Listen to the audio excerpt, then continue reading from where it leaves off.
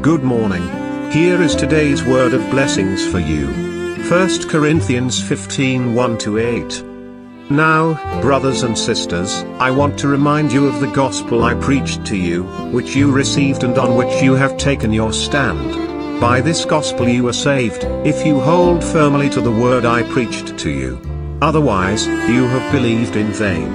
For what I received I passed on to you as of first importance, that Christ died for our sins according to the Scriptures, that he was buried, that he was raised on the third day according to the Scriptures, and that he appeared to Cephas and then to the twelve. After that, he appeared to more than 500 of the brothers and sisters at the same time, most of whom are still living, though some have fallen asleep. Then he appeared to James, then to all the apostles, and last of all he appeared to me also, as to one abnormally born. Today's title is Christ died, buried, and raised. Devil is a sly and ambitious creature. He rebelled against God and dared to take his place. He tried to stop Christ before he was even born. Herod tried to kill the baby Jesus after he heard it from the magis. The devil again tried to tempt the Lord when Jesus began his messianic work after he was baptized. It failed again devil tried to stop Jesus from dying at the cross. Even the disciples strongly objected to his death.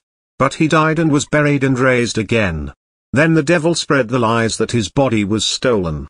Jesus did all that he had to do. It was done and finished. What can the devil do now? Devil's last resort is lying about it. So he has kept trying to bring changes to the original message of the gospel since then. There were constant attempts to bring substantial changes and shifts in the original gospel message throughout history. It must have already started at the time of Apostle Paul in the Corinthian church.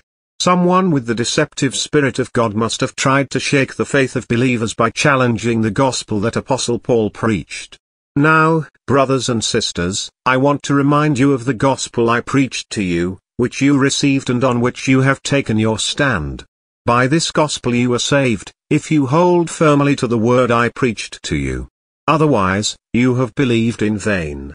For what I received I passed on to you as of first importance, that Christ died for our sins according to the Scriptures, that he was buried, that he was raised on the third day according to the Scriptures, and that he appeared to Cephas and then to the twelve.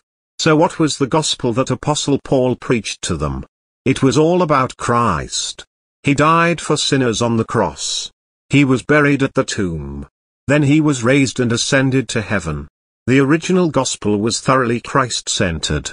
Indeed, Jesus Christ is the Alpha and Omega of the original gospel. If the place of Christ is weakened or shaken in the gospel, the power of the gospel could be virtually lost. The sly devil knew this well. So the devil's scheme was all focused on removing or weakening the place of Christ in the gospel. It was no wonder that there have been countless attempts to shake such centrality of Christ in the gospel throughout history. Such a scheme of the devil seems to have gained momentum in our own time. The secular power succeeded in forcing out the name of Christ, even illegalizing the mention of the name of Christ in public places such as schools and government. If we do not hold firmly to the gospel that the Lord and his apostles preached, we could soon lose the original and pure gospel that was fully centered on Christ.